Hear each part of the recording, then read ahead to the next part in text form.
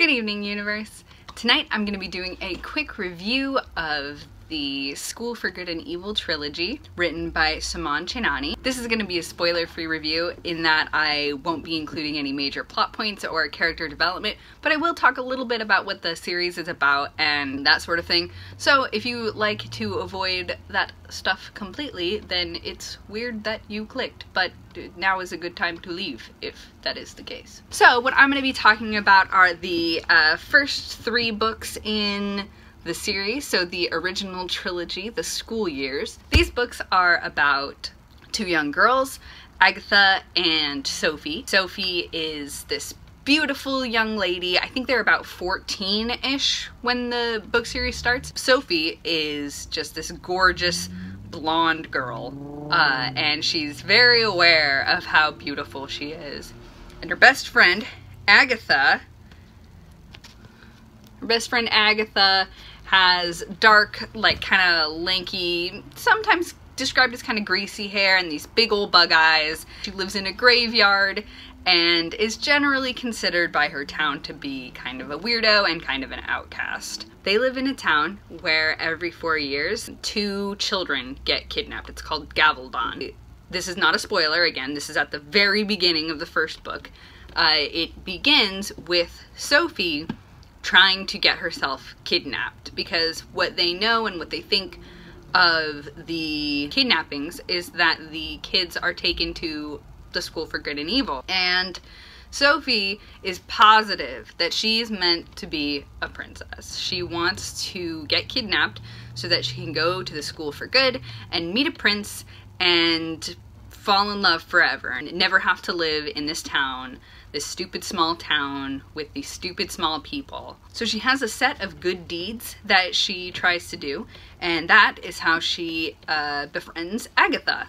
She notices that Agatha is alone and friendless, and Sophie comes up to her and as a good deed becomes her friend. That's about where the book kicks off with Sophie doing the good deed of being friends with Agatha and hoping that that later that night she will be kidnapped to be taken for the school. Agatha is not super keen on this plan. The rest of the book follows their adventures dealing with the new fairy tale world that they get exposed to thanks to the attempted kidnapping of Sophie. It's a series that has a lot of fairy tale tropes. It's set in a world where people get trained to be part of fairy tales. While it doesn't necessarily subvert the tropes exactly, it does play with them in new and interesting ways. So I really liked that about the first book. I absolutely tore through it. It went to some wild places. These books are structured to have like a medium level of action going on throughout it and then just like a crazy skyrocket of epiphanies and information at the end, even more so than many other books are designed to do. So the climax isn't just like a regular bump, it's like a like that. So if you want to read these books, be prepared for that kind of ride. They are pretty hefty for middle grade books. Let's see. What is this? Uh, about 500 pages on the first book. The other two are not as long. But you go through them really quick. It's very readable, very enjoyable, um, super fun. I love the main characters, Sophie and Agatha. I think they're both great. They develop in some really cool ways that I really enjoy. There's a third character and his name is Tedros and I've mentioned him in one of my videos before in the uh, intense hope that he gets less annoying over time or at least isn't in the story as much. And I will say that book three delivered on one of those two fronts. So I was pretty pleased with that conclusion to the trilogy. I will also say that in terms of one of the main characters' development, I absolutely love the last line that she gets to say. It's actually the last line of the third book. It was super satisfying to have her say this particular line. Super satisfying to have it be the ending. I absolutely loved it. I definitely think that his writing has improved over the course of the book. Probably the second one is my least favorite, partially because I didn't like any of the new villains that they introduced and the central battle was to me kind of strange, but then it resolved in a even more bizarre way. So look forward to that if you want to read the series. But if you read book two and you feel like, eh, this series is kind of falling off, I definitely suggest giving book three a chance because it really comes back around with some loose plot threads and character development and just a plot that really drives forward in an intriguing way. I started reading it as a light-hearted little break after reading The Wicked King because I really wanted something to kind of, as much as I love The Wicked King by Holly Black, the relationship between the main character and her love interest is a little intense and so I wanted to have like a light-hearted, fun little break from that.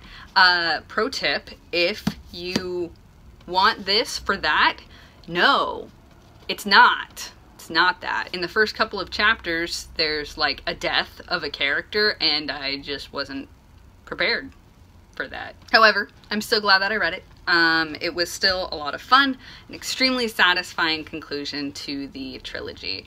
I will be moving forward with the second half of the series, which is the Camelot years. The fourth book is called Quests for Glory, and I'm super excited to read that in a little while. I am going to take a little break from the series so that I can finish more of the rest of my physical TBR, but I'm excited to get back to it, excited to see where the conclusion goes, especially because it seems like his writing is getting a little bit better and a little bit more interesting getting a little bit more depth with each book. So I'm really excited to see where he goes from here. Overall, I really enjoyed the School for Good and Evil. I think it was a lot of fun, and if you enjoy kind of tropey fairy tale fun stuff then this would probably be a good match for you if you happen to be looking for a new magic school book series for any reason at all, um, I would definitely suggest these as one that you should check out. Again, highly recommend giving it until the third book at least. Uh, I definitely feel like some of his best character work is in there, but the first two books are still definitely a, a fun introduction to the world and the characters and uh, kind of setting up the stakes for what's going down in book three it is definitely a lot faster paced than um, a lot of other middle grade book series that I've read. I would say it even has a faster pace than like the Percy Jackson books or similar ones. So they are extremely quick. A lot happens in the books, so it can be easy to kind of lose track of what's going on. There are a lot of characters who would be referenced throughout the series, um, and that can be a little bit confusing if you aren't used to having like a huge cast. There are only three main characters though, and the rest will kind of be framed in contexts that make it pretty clear what's going on. So even if you're not great with big casts, the books make it pretty easy for you to follow along. I definitely feel that the books leave the reader with plenty to think about. So rather than coming down cleanly on this is good and this is evil or any of the other tropes that they mess with, rather than deciding for you or stating clearly this is what this is and stuff like that. It kind of leaves it up to the reader. Some people, I think, found that annoying. Um, I was reading some reviews where people were talking about how things were not subverted harshly enough for them. I don't really agree with that. I think that while there were definitely some points that could use some extra clarification or that we could have gotten more depth from, I do think it's clear where the author stands on certain things. And also having it open as a discussion I think is also very useful especially for the intended age audience. These are middle grade books so I think having these open-ended of like what is good and what is evil and what are all these other things the way that he opens up these questions and kind of addresses them without giving exact answers. I think that is really good for the intended age range and probably a great conversation starter if you're like a parent and you have maybe like a 10 to 12 year old who is reading the book series. Then you guys can have a nice discussion about it and really dig in. That's pretty much all I have to say for this evening. Thank you so much for joining me for this review and have a good night, universe.